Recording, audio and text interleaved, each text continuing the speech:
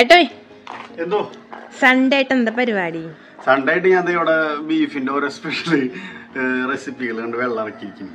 ഞാൻ ഇങ്ങോട്ട് ചോദിക്കാൻ വരായിരുന്നു. സൺഡേ ആയിട്ട് എന്താ ഉണ്ടാക്കണ്ടേന്ന് സൺഡേ ആയിട്ട് ബീഫ് ഉണ്ടെന്നെങ്കിലും വെറൈറ്റി ഉണ്ടാക്കിയാലോ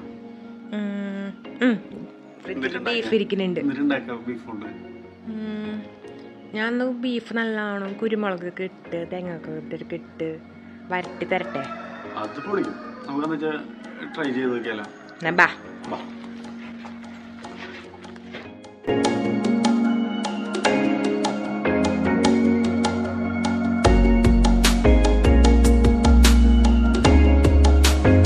നമ്മൾ നമ്മൾ ബീഫ് കുരുമുളക് ഇട്ട് വരട്ടിയത് ഉണ്ടാക്കാനായിട്ട് ഒരു ഒന്നര കിലോ ബീഫ് എടുത്തിട്ടുണ്ട്.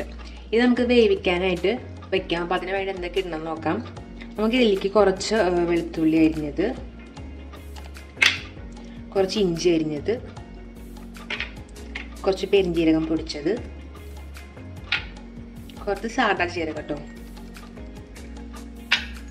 പിന്നെ ഇതിന് ആവശ്യത്തിനുള്ള ഉപ്പ്.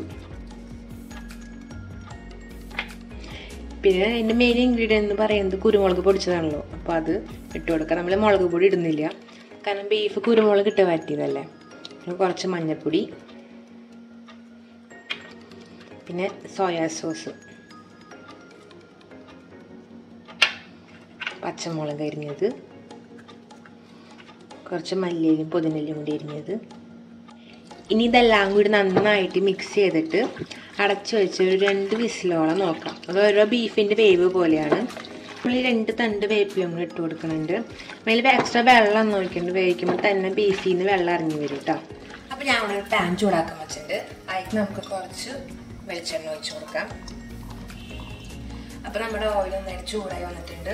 അതിലേക്ക് നമുക്ക് നമ്മുടെ തേങ്ങാക്കൊത്ത് അരിഞ്ഞ് വെച്ചത് ഇട്ട് കൊടുക്കാം. ഇനി നന്നായിട്ട് ഒന്ന് വറുത്ത് കോരിയെടുക്കണം. തേങ്ങാക്കൊത്ത് ഓൾമോസ്റ്റ് ബ്രൗൺ കളറായി വന്നിട്ടുണ്ട്. ഞാൻ അതിലേക്ക് നമുക്ക് കുറച്ച് കുരുമുളക് കൂടി ഇട്ട് കൊടുക്കുകയാണ്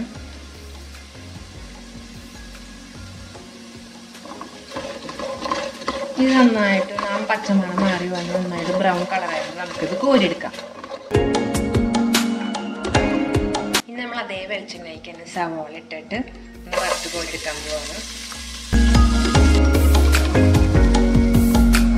അപ്പം നമ്മുടെ സവോള ഇവിടെ റെഡി ആയിട്ടുണ്ട്. നല്ല ബ്രൗൺ കളറായി വന്നിട്ടുണ്ട്. ഇനി നമുക്കിത് കോരിയെടുക്കാം. ഇതേപോലെ തന്നെ നമുക്ക് കുറച്ച് പച്ചമുളക് കറിവേപ്പില കുറച്ച് പെരിഞ്ചീരകം വറുത്തെടുക്കേണ്ടതുണ്ട്.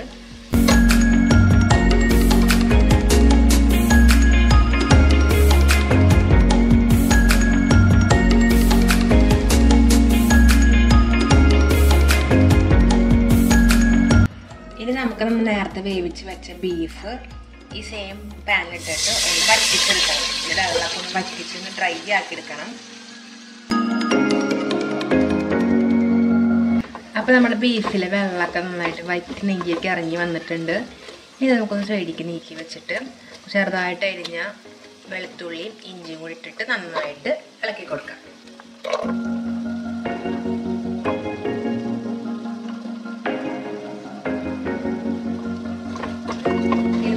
കറിവേപ്പിലും കൂടി ഇട്ട് കൊടുക്കാം.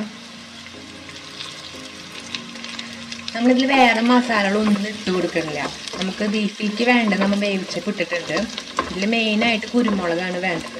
ഇത് നന്നായിട്ടൊന്ന് വരട്ടിയെടുത്തിട്ട് വഴന്ന് വരുമ്പോൾ കുറച്ച് കുരുമുളക് പൊടിയും നമ്മൾ നേരത്തെ വറുത്ത് വെച്ചേക്കുന്ന സാധനങ്ങളൊക്കെ ഇട്ടിട്ട് നന്നായിട്ട് ബ്ലാക്ക് കളർ ആവുന്നത് വരെ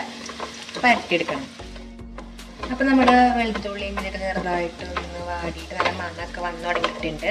ഇനി നമുക്ക് ഇതിലേക്ക് നമ്മുടെ എരിവിനനുസരിച്ചിട്ട് കുരുമുളക് ഇട്ട് കൊടുക്കാം. അപ്പം ഞാൻ ഇതിന്റെ ടേസ്റ്റ് നോക്കിയപ്പോൾ കുറച്ച് ഗരം മസാലയുടെ ഫ്ലേവർ കുറവുണ്ടായിരുന്നു. അപ്പം ഞാൻ കുറച്ചും കൂടി ഗരം മസാല ഇട്ട് കൊടുക്കുന്നുണ്ട്. ഇത് നന്നായിട്ട് വരട്ടിയെടുക്കണം. നമ്മ പറയാറില്ലേ ബീഫ് നല്ല കറുത്തിരിക്കണമെന്ന്? ആ ഒരു പരിവാവുന്ന വരെ നല്ല രീതിക്ക് വറുപ്പിച്ചെടുക്കണം എന്നിട്ട് വേണം നമ്മൾ വറുത്തത് കിട്ടിട്ട് നമുക്ക് ഗ്യാസ് ഓഫ് ചെയ്യാം. അപ്പം നമ്മുടെ ബീഫ് ഇവിടെ നന്നായിട്ട് വരട്ടിയെടുത്ത് നല്ല ബ്ലാക്ക് കളറായി വന്നിട്ടുണ്ട്. ഇനി നമുക്ക് ഇതിലേക്ക് നമ്മൾ വറുത്ത് വെച്ചിട്ടുള്ളത് ഇട്ട് കൊടുക്കാം.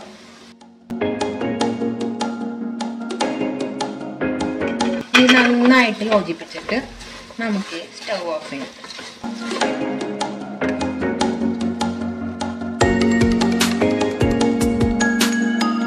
അപ്പോൾ ഗായ്സ് നമുക്ക് ഇവിടെ ബീഫ് കുരുമുളകും നാളികേരം കൊത്തൊക്കെ ബീഫ് വരട്ടിയത് ഇവിടെ റെഡി ആയിട്ടുണ്ട്. ആ അപാര ടേസ്റ്റാണത് എല്ലാവരും വീട്ടിലത് ട്രൈ ചെയ്ത് നോക്കുക മസ്റ്റായിട്ട് എല്ലാവർക്കും ഇഷ്ടപ്പെടും. അപ്പോൾ നമ്മുടെ വീഡിയോ എല്ലാവർക്കും ഇഷ്ടപ്പെട്ടെങ്കിൽ നിങ്ങളെല്ലാവരും ലൈക്ക് ചെയ്യുക കമന്റ് ചെയ്യുക സബ്സ്ക്രൈബ് ചെയ്യുക ഷെയർ ചെയ്യുക. തീർച്ചയായിട്ടും നിങ്ങൾക്ക് എല്ലാവർക്കും ഇഷ്ടപ്പെടുന്നു വിചാരിക്കുന്നു. താങ്ക്